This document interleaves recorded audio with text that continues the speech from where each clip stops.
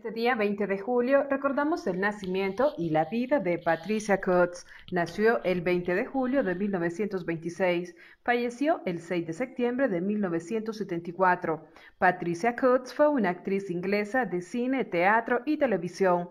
Nacida en Londres, fue la hija del director y escritor Graham Coates. Cuando apenas tenía 14 años, se fugó del internado en el que estudiaba y se unió a una compañía de repertorio. Ya una jovencita estaba decidida en convertirse en actriz, por lo que decidió estudiar actuación en la RADA. Sus primeros papeles fueron pequeños papeles en películas estadounidenses como I Was a Mel Bright y The Men Who Loved Redheads y destacó en programas de televisión como Alfred Hitchcock Presenta y Perry Mason.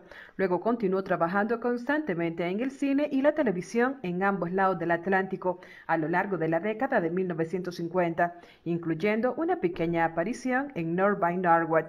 Fue un miembro regular del jurado en el exitoso concurso Down You Go y protagonizó junto a Vincent Price el film The Tingler.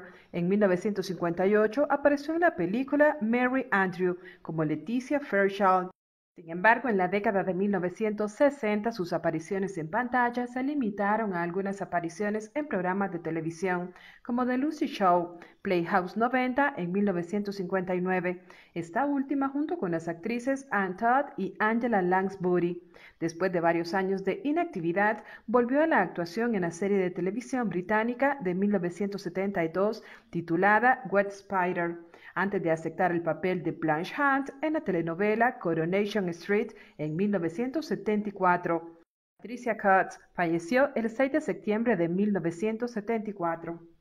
Fue parte de la vida y la historia de Patricia Cutts, recordando la fecha de su nacimiento este día 20 de julio para el cine, la tele y Mickey Andoni.